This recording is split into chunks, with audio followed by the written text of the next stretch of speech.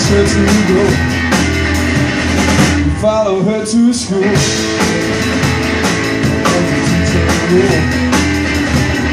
What a time